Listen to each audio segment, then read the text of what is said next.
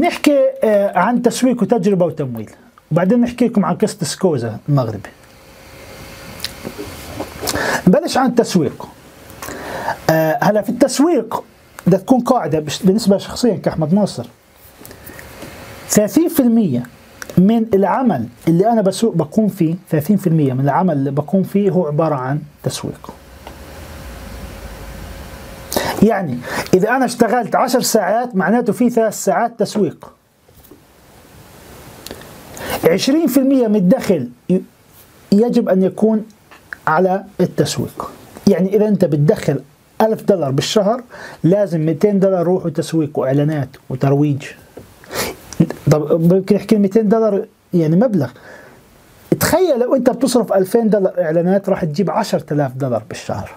تخيل بتصرف 10000 دولار إعلانات راح تجيب 100000 دولار بالشهر. حسب إمكانياتك. أنا ما بحكي لك روح اصرف 1000 دولار في الشهر. إذا منتجك بسوى إنك تصرف عليه اصرف عليه وسوقه.